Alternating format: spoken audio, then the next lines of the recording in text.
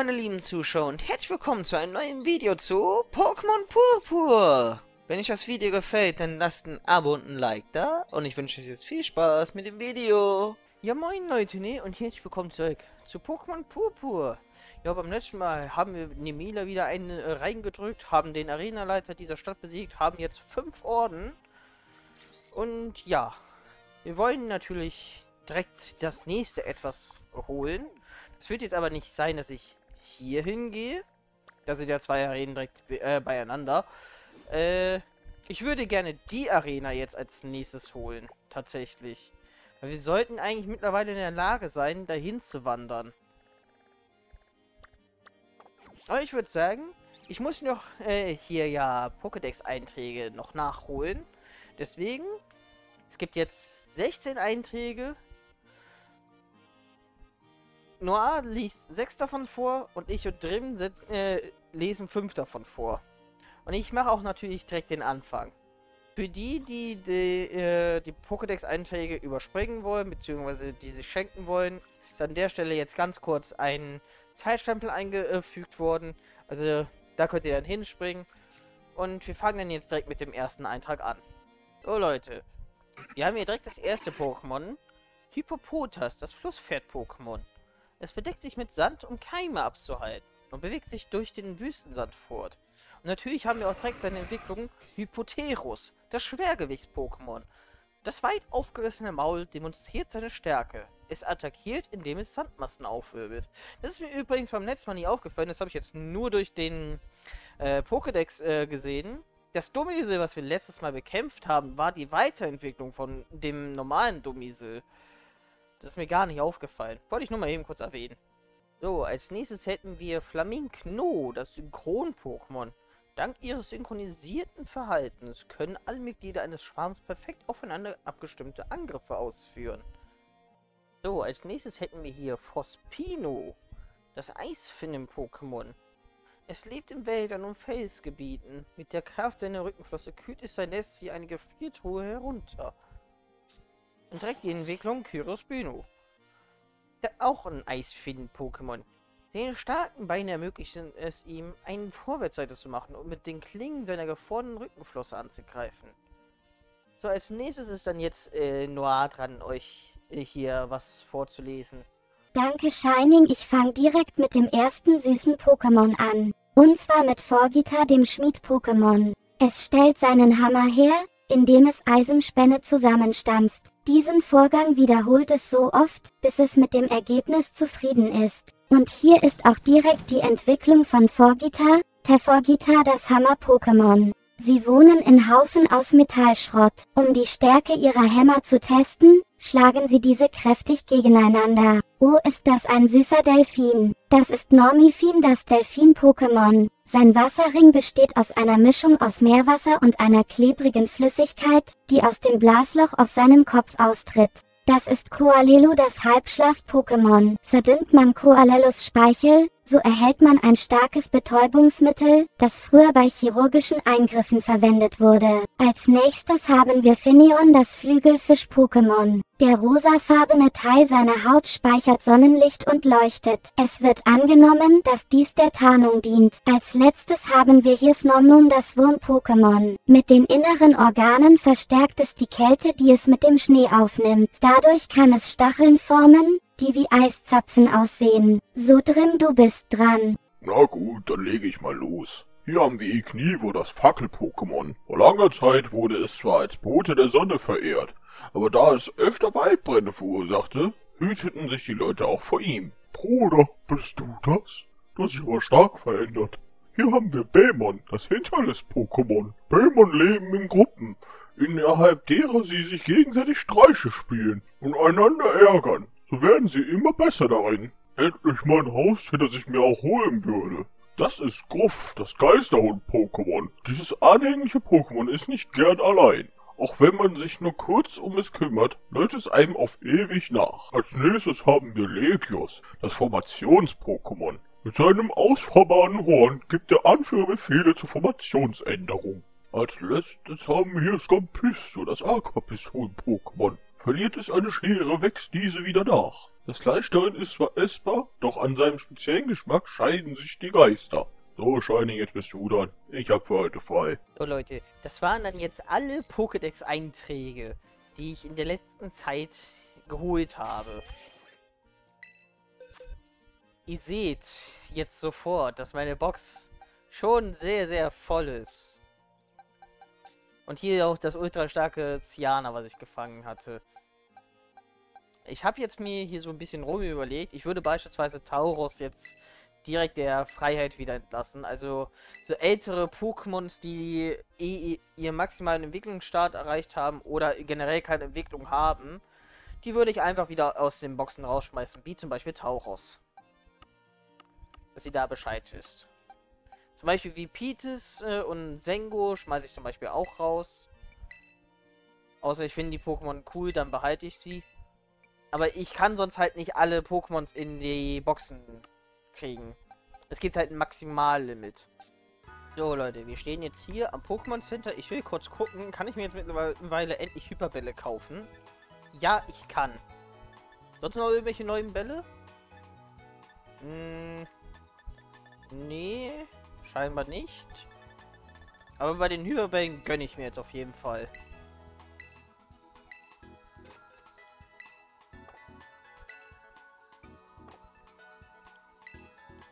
Im Übrigen, nicht alle von den Pokémons, die ich gefangen habe, habe ich so in der Gegend gefunden. Ich habe auch sehr viele Terror-Raids gemacht.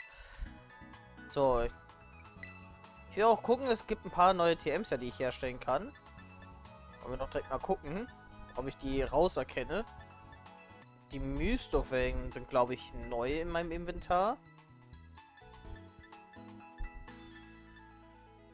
Oh, da, äh, dafür brauche ich Lingelsamen für den Gigasauger. Die habe ich ja letztes Mal eingesammelt. Der Eiskreise, der ist neu. In, zumindest in meinem Inventar. Okay. Nicht sonderlich viel an neuen Attacken bekommen. Aber hey, wir gehen jetzt in diese Höhle da hinten rein.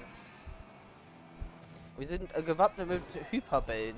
Auch wenn ich eigentlich nicht wirklich neue Pokémon äh, diese Folge eigentlich fangen will.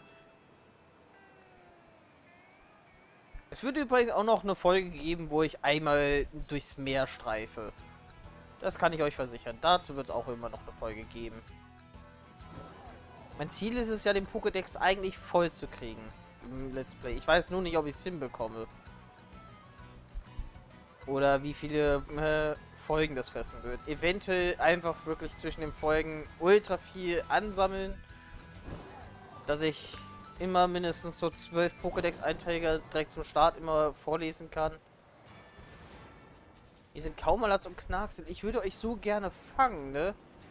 Aber ich habe mir vorgenommen, diese Folge jetzt eigentlich kein weiteres Pokémon zu fangen. Gab schon genug Pokédex-Einträge. Ich komme hier nochmal aufs Kind hin und fange mir was.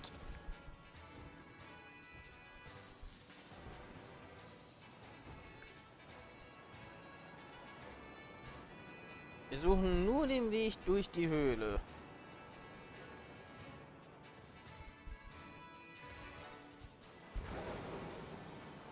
Ich hoffe einfach, dass ich hier gerade richtig äh, fahre.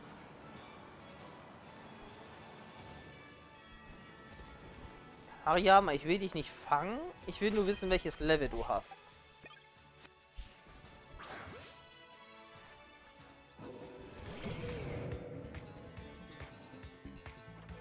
Okay, hier zahlt sich mein Training aus. Hier ist nämlich Level 40.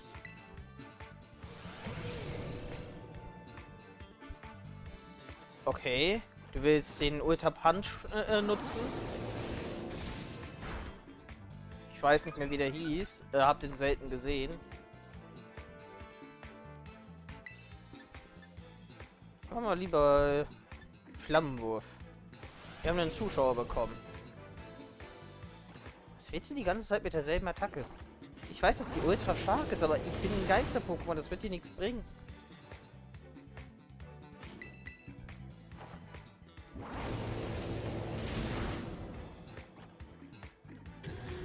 Power Punch schießt die, glaube ich, die Attacke, die ich gerade meine. Oh, ist da unten vulkanische Aktivität oder warum ist meine Karte da rot? Ich glaube, da geht's raus.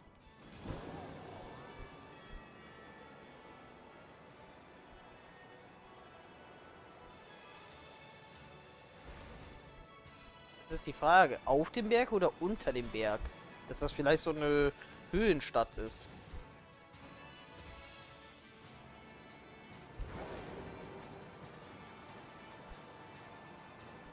Eigentlich ja eher auf dem Berg, ne? Wir ignorieren alles, was hier rumschwirrt. Ich werde in Versuchung gebracht, aber ich widerstehe. Hier sieht's nach Ausgang aus. Oh, so hell. Oh, meine Augen.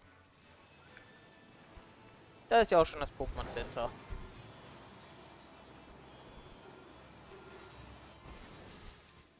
Ich mache übrigens auch die Pokémon-Kämpfe gegen die Pokémon-Trainer offscreen immer, ne? Gibt's hier eigentlich geile Terra-Raids? Ich will ihn jetzt nicht machen, ich will nur mal gucken. Ah, es geht.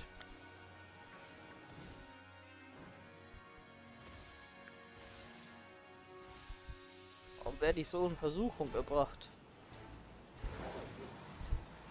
Wir wollen jetzt hier direkt die nächste Arena-Leiterprüfung abschließen. In Asarila.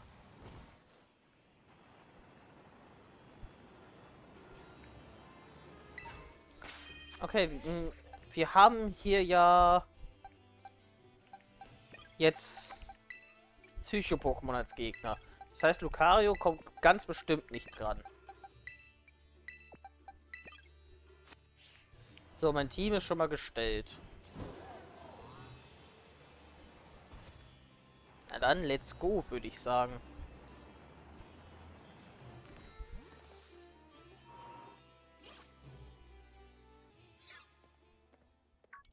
Oh, da steht jemand, den wir kennen. Ja, alles tipptopp.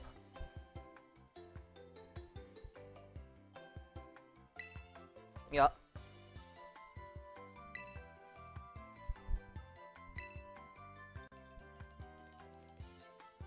Danke. Ein Glücksei.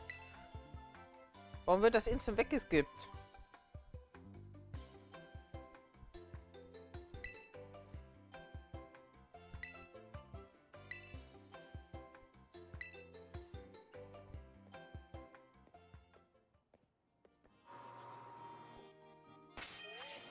Glücksei war, meine ich, dass man mehr Erfahrung bekommt.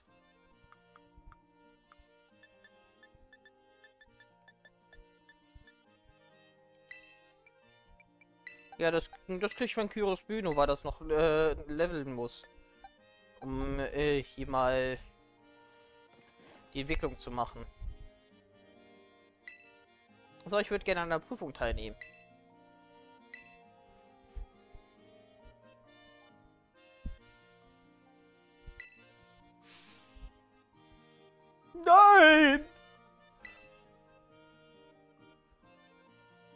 Dafür bin ich doch zu faul!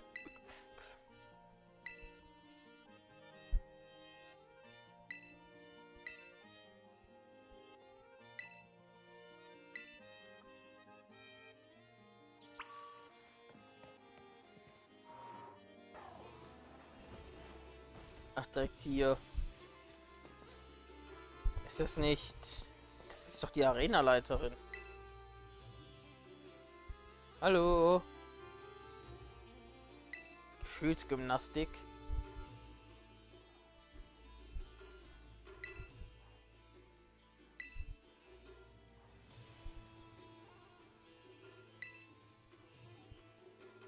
Ach nee, das ist eine unserer Lehrerin.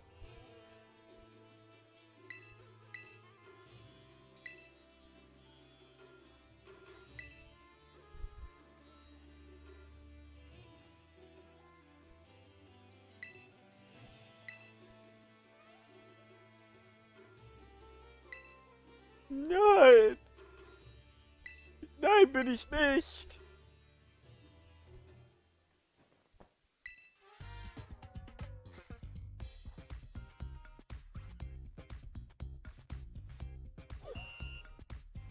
Muss ich irgendwas drücken?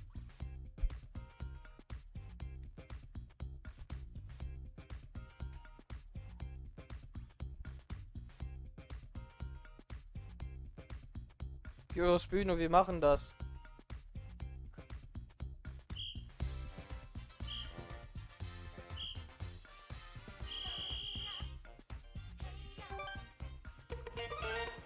Okay, ich muss nur Y, X, A oder B drücken.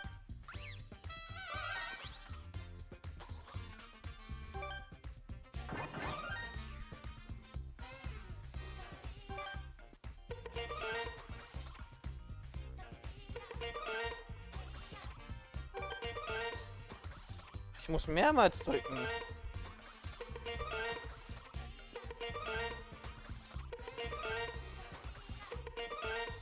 Ich habe Spaß. Ich habe Spaß ohne Ende. Ja.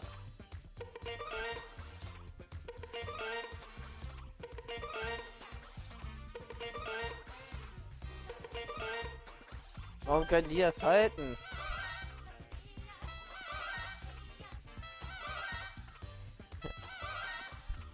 Frage mich, ob einmal ausreicht oder ob ich es wirklich spammen muss. Jedenfalls läuft der Timer dadurch echt langsam.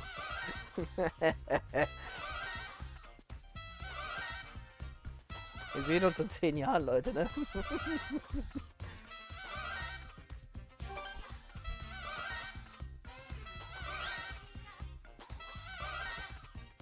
Ich drück mal ein bisschen langsamer. Will hier keine Rekorde aufstellen.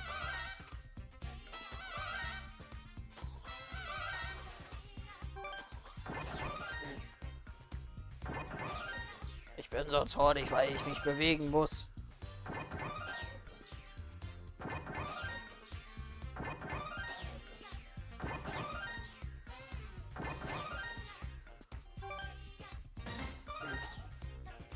Oh nein, das ist Sunny.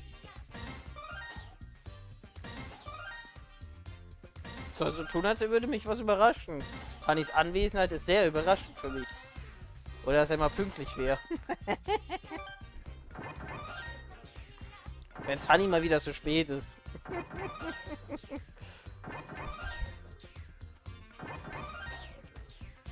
Das sind Insider, die nur meine Stammzuschauer verstehen können. Reicht das?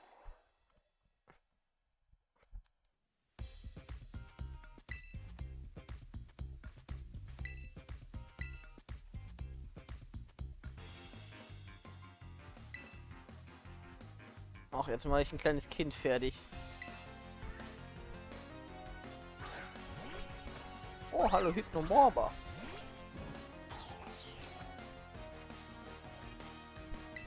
Okay, Level 45 war eine gute Idee. Vielleicht sogar zu wenig. Los, Eiszahn!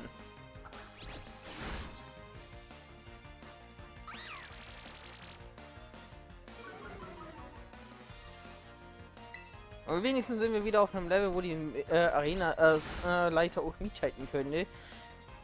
Oh nee.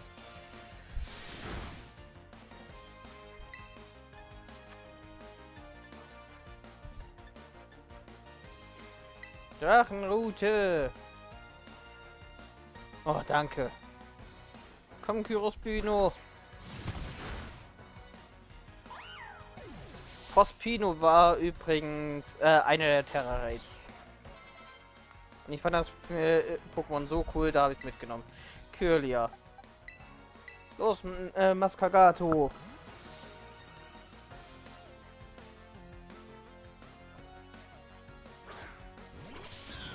Die einfach casual direkt daneben stehen, ne? Als ob sie die Angriffe abbekommen wollen. Ja, die bringt Notdünger nix.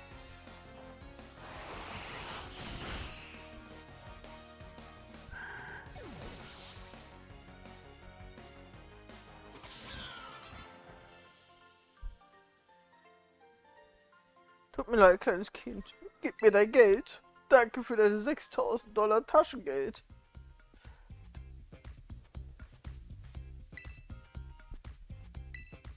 zweite Hälfte. Um, okay, ich muss noch... Nein! Ich dachte noch ein weiterer Pokémon-Kampf. Ich sehe was, ich drücke jetzt einfach äh, nur zweimal pro Ding.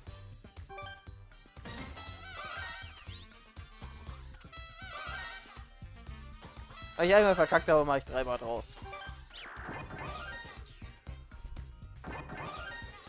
Kann auch jedes Viertel einmal drücken.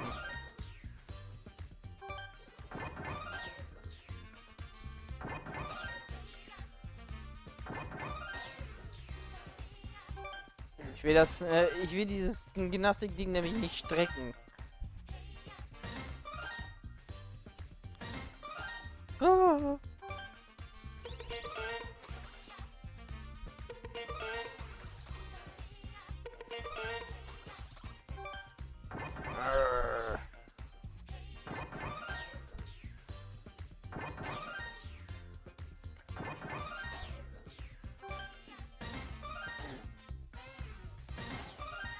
Mann, ich bin so überrascht, ne?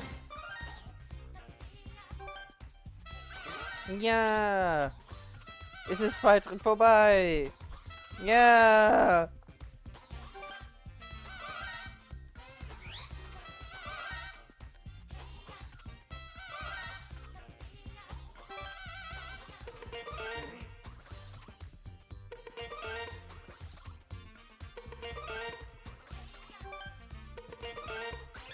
Vorbei sein. Ich will den Arena-Leiter äh, endlich platt machen. Bitte.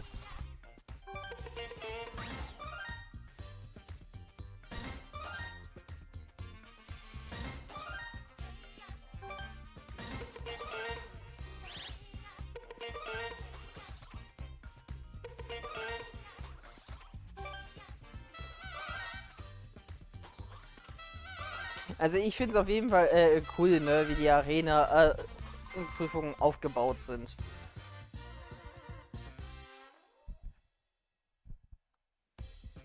Sie sind alle besonders.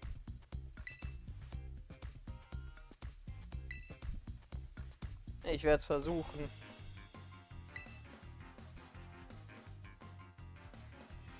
Komm, mein Kyros-Bühne, wir machen das fertig. Dieses Groink.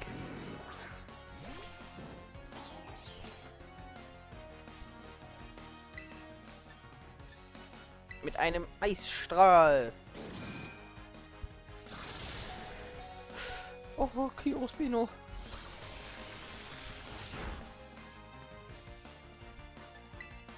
Okay, überzeugt Mascagato, rein mit dir. Los, Mascagato, Nachtief.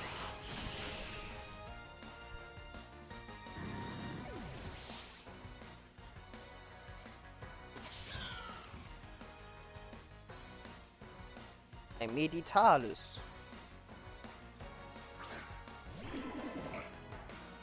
Hm, ob es mein Nachthieb überstehen wird? Es hat tatsächlich überstanden. Und Mascarato gewonnen. Na gut, Turmkick hat übelst viel Power, aber wenn man Turmkick verfehlt, dann kriegt man selber den Schaden ab, ist das Ding. Ich belebe aber erstmal Mascarato wieder, ne, bevor ich den ja jetzt platt mache. Nimm ihn weg!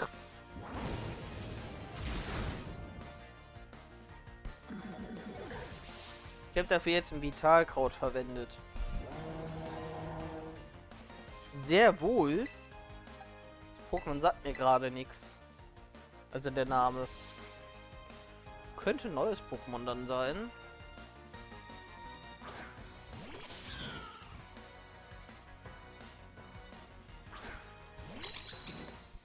Du sagst mir echt nichts. Ach, die. Wir werden auch nicht sehen, was du kannst.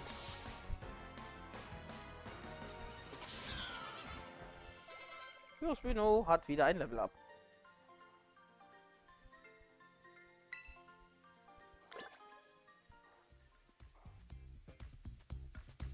War's das?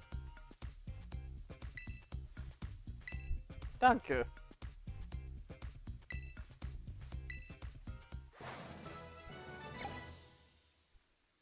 Wir haben bestanden, Leute.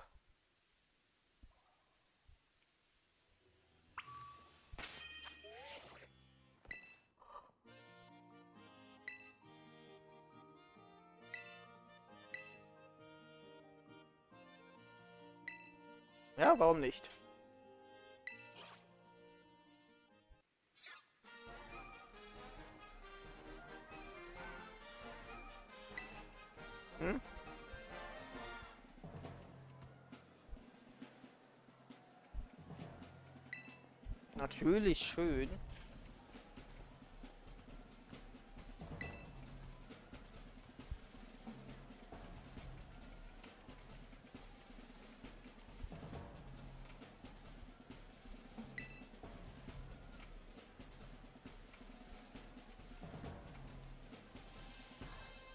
Siehst aus, als ob du Mond-Imperium verwaltest.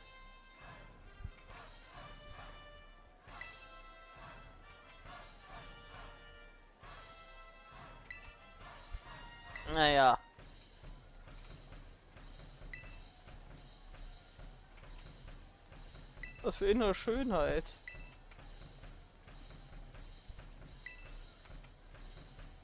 Ich weiß nicht, wovon du redest. Aber du scheinst sehr glücklich zu sein. Ich freue mich auch, dich jetzt Platz zu machen.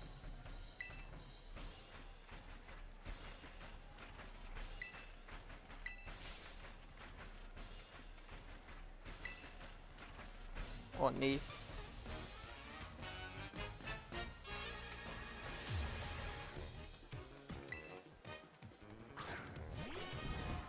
Hi Graf, hat Giraffarik eine Entwicklung bekommen? Der Schweif ist einfach über den Kopf gestülpt.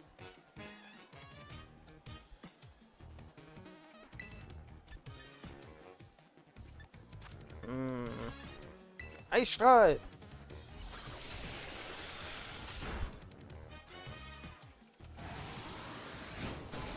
Aua! Los, zeigen wir ihm, was eine Hake ist. Kiros Bino.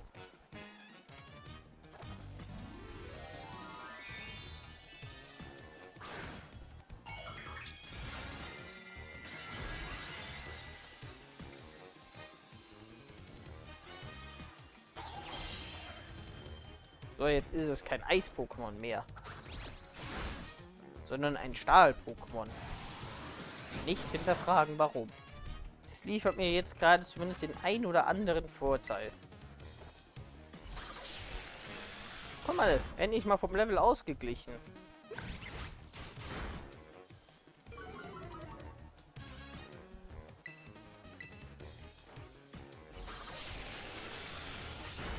So. Feige Giraf haben wir fertig gemacht. Hätte nicht gedacht, dass Giraf eine Entwicklung bekommen hat. Oh, lernen die beide was Neues? Ja, Öl, kannst du direkt vergessen. Bürde. Wäre praktischer als meine Dunkelklaue tatsächlich.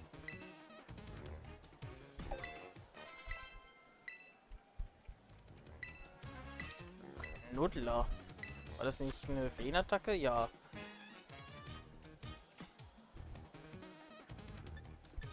Komm, nehme ich mal statt Energieball.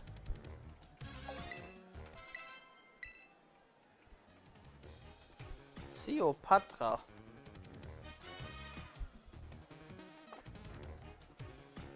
Ich kämpfe mal mit äh, Kiros Beino, bis seine äh, Terra-Kristallisierung nachlässt.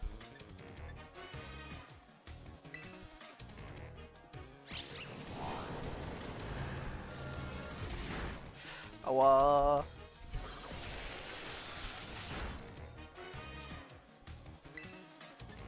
Die Rachenklaue. Komm, Kirospino, du schaffst das.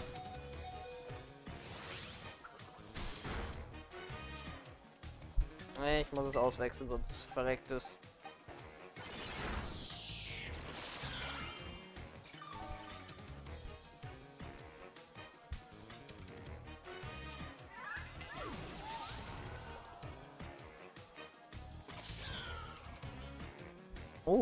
Guardabor. Das wunderschönste Pokémon des ganzen Spiels.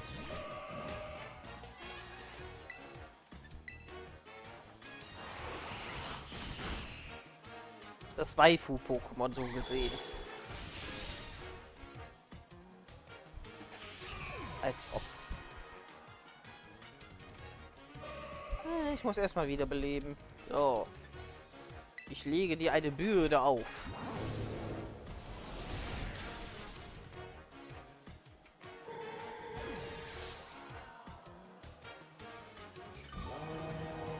Gegner jauen echt rein.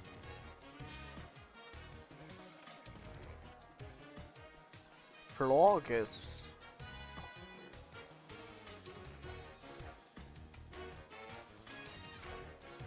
Mich kann man nicht entfernen. Das haben schon viele versucht.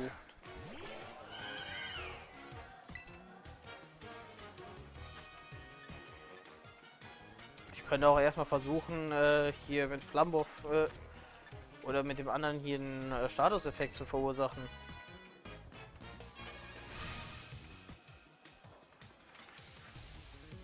Ein neues Ich.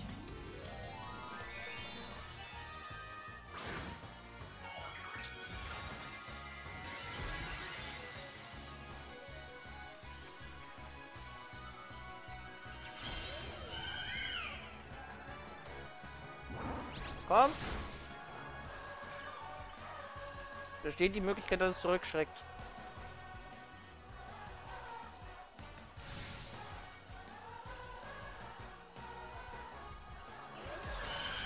Nope.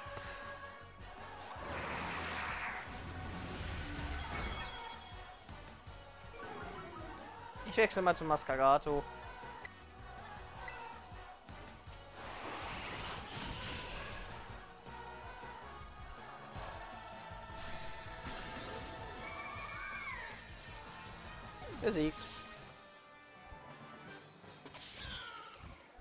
Ja, mich wird man halt nicht los. Aqua-Durchstoß. Uh. Das klingt gut.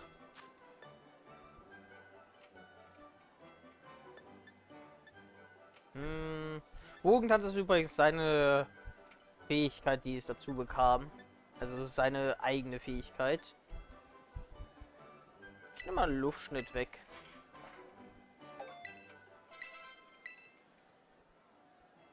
Wir haben Tulia besiegt. Das war diesmal tatsächlich ein härterer Kampf.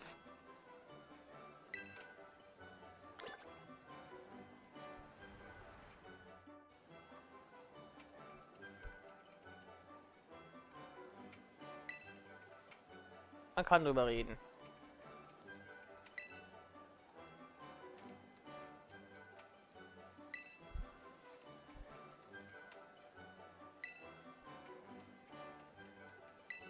Danke.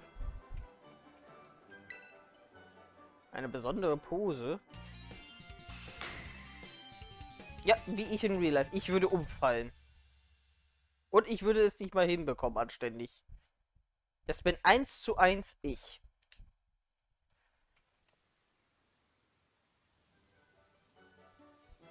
Nur noch zwei Orden, Leute.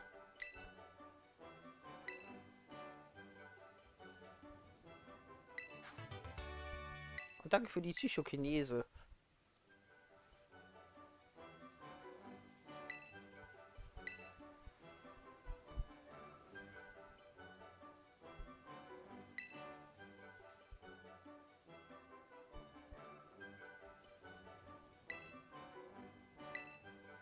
Danke.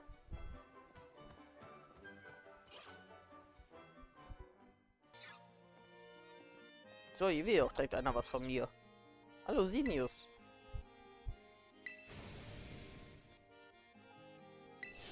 Das war dann endlich auch mal ein richtig guter Kampf. Naja, darüber kann man reden.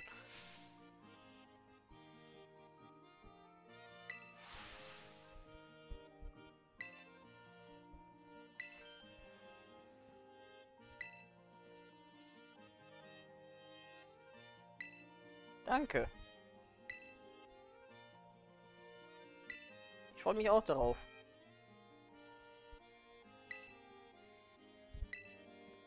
Stimmt, da sollte ich auch mal eventuell mal vorbeischauen. Ist eventuell was dazugekommen. Hier draußen ist jetzt regnerisch. Ist ein echtes Dreckswetter. Aber wir sind hier oben auf dem Berg. Wir haben einen weiteren Arena-Orden. Wir haben eine neue TM erhalten, also Psychokinese halt. Wenn ich mich hier umschaue, finde ich bestimmt noch eine TM mindestens. Jedenfalls, Leute, wenn es euch gefallen hat heute, dann lasst ein Abo und ein Like da. Und wir sehen uns dann beim nächsten Mal wieder. Ciao!